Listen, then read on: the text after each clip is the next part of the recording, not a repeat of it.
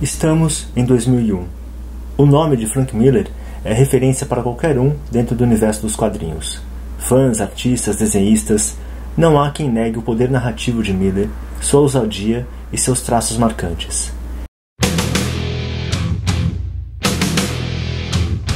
Electra Lives Again, a série Sin City e 300 são obras que, ainda que não tão conhecidas do grande público, mostram que Miller dialoga com a própria essência dos quadrinhos e da arte. Ele quer ampliar e aprofundar o poder da linguagem dos quadrinhos, trazendo à tona fundamentos e influências diversas para suas obras. A linguagem dos quadrinhos, o espaço imaginativo. Toda obra de arte é um convite ao diálogo imaginativo, onde o encontro entre o artista e seu público se dá na apreciação da obra. Em linhas gerais, na leitura de um livro, nas artes plásticas, no cinema, na fotografia, sempre estamos a nos colocar em contemplação em imersão ao que o artista nos apresenta. Normalmente aqui, o monólogo se faz mais presente do que propriamente um diálogo. Mas nos quadrinhos, a imaginação do leitor é chamada a participar da narrativa em inumeráveis momentos. É no hiato de uma cena a outra que o leitor irá participar da narrativa da história, através da própria imaginação que é colocada a agir a cada novo quadrinho, ou melhor, a cada espaço imaginativo, que é o intervalo entre um quadrinho e outro. É aqui que está o grande segredo dos quadrinhos, a sua importância, pois todo grande artista irá usar este espaço para engajar leitores na sua trama. Outro aspecto interessante que busca a participação imaginativa do leitor é que muitos dos grandes desenhistas trazem uma espécie de movimento aos seus quadrinhos, aos seus desenhos. E justamente nisto, Miller é um mestre. Ele nos faz participar de sua história. É como ele disse: o seu leitor ideal é audaz, não é um mero espectador de cinema ou de séries de TV. E é com este leitor que Miller dialoga, é a este leitor que Miller mira a sua pena. E em busca deste leitor ideal, Miller irá explorar ainda mais movimento e ação, espaços imaginativos e a busca não por uma narrativa realista, mas onde o importante é causar impressões e sentimentos. Para isso, ele irá buscar e revigorar suas influências e referências. Se antes Will Eisner era o mestre inspirador, agora ele trará também ao cap Robert Crumb para compor seu estilo. Se antes o cinema era referência a ser emulada, ele irá mesmo superar esta através da emulação de artistas como Michelangelo e Pollock. Se antes a brutalidade da realidade nova-iorquina se coloca como referência, fazendo de sua primeira fase uma ode ao realismo, agora é hora de trazer de volta o sentido original dos quadrinhos, buscar a sua comicidade. Afinal, lembremos-nos que comics tem justamente essa origem. Personagens irreais, a maior parte criados em uma era de recessão e desesperança e que são a própria essência de um escapismo imaginativo, onde o absurdo e o humor, onde os extremos são pura diversão e nada pode ser mais alegre, divertido e engraçado. O Cavaleiro das Trevas 2. Tudo isso está na mente de Miller quando, em 2001, ele retorna para Nova York e começa a trabalhar com Lee Varley na continuação da obra que marcou sua carreira. Ao longo de quase duas décadas, Miller viu sua influência nos quadrinhos se impor de maneira sufocante. Personagens cada vez mais cínicos e violentos são a praxe. O sarcasmo e a brutalidade imperam. Mas o pior é que poucos autores conseguem realmente criar boas histórias que não sejam mero regurgitar de ideias.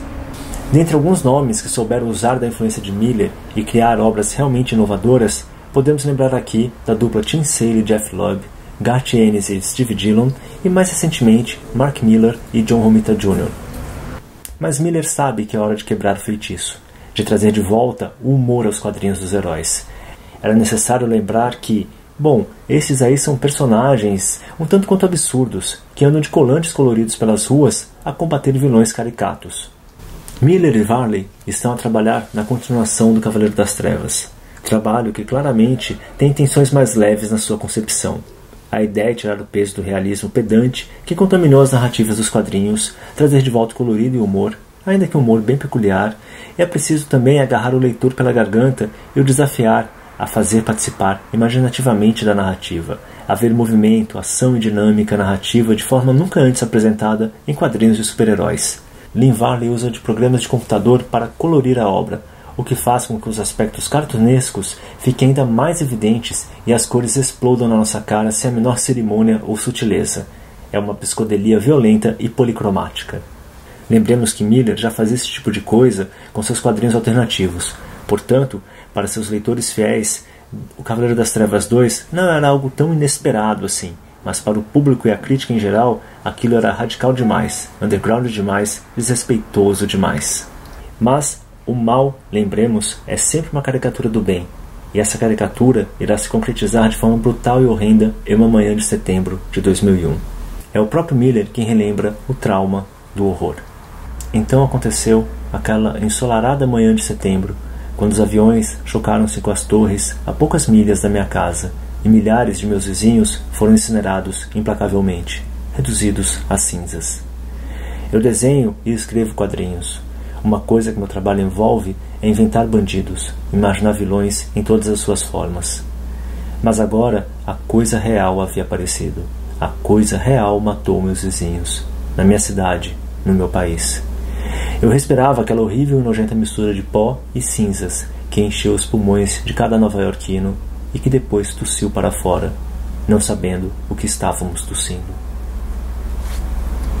Esse trauma irá se impor e ter uma resposta de Frank Miller no próprio Cavaleiro das Trevas 2. Em um momento de profunda dor, temos nas páginas dessa HQ uma das primeiras reflexões artísticas sobre o pesadelo do terrorismo a assombrar este início do século XXI. Interessante notar ainda que Miller coloca ninguém menos que o próprio Superman como porta-voz da sua dor. Nada mais evidente da compreensão profunda que Miller tem do personagem, de sua simbologia universal, símbolo de esperança, de humildade e de honra símbolo que nasce de um patriotismo natural e ligado a valores familiares comuns. Mas novos rumos em sua vida também serão marcantes e traumáticos à sua maneira. Apesar da recepção ao Cavaleiro das Trevas 2 ter sido um misto de decepção e desprezo, Frank Miller ainda é digno de admiração, tanto que Hollywood irá novamente estender seus tentáculos em direção ao autor. Robert Rodrigues, diretor que em parceria com Quentin Tarantino usa e abusa da linguagem cinematográfica para contar histórias de puro teor quadrinesco, seria o responsável por trazer Frank Miller e sua Sin City às telonas. O interessante e arriscado aqui era que Rodrigues não queria fazer apenas uma adaptação das séries. Ele buscava mesmo uma transposição quase literal de imagens e personagens. O resultado foi um sucesso estrondoso, que fez mais de 150 milhões de dólares mundialmente números mais que satisfatórios para um projeto independente, violento e radical. O sucesso catapulta Miller ao estrelato. Ele é celebrado, a energia, charme e realização em seu olhar. Mas esse brilho revelava outra coisa: ubris. Essa ubris se torna ainda mais perniciosa quando Zack Snyder adapta 300 para as telonas, fazendo da história de Miller um épico homoafetivo carregado de efeitos especiais e que termina por faturar mais de 450 milhões de dólares, fazendo de Miller e, por tabela, Snyder monstros vorazes e cegos para os próprios defeitos. Diante do sucesso de 300, produtores enxergam a possibilidade de mais dinheiro e sucesso. E Miller tem a chance de dirigir um filme, não um filme qualquer.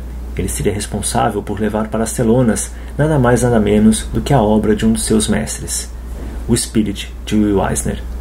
O resultado termina sendo confuso, um misto de paródia e arrogância que deturpa a obra de Eisner, tirando toda a leveza e humanidade da obra do mestre.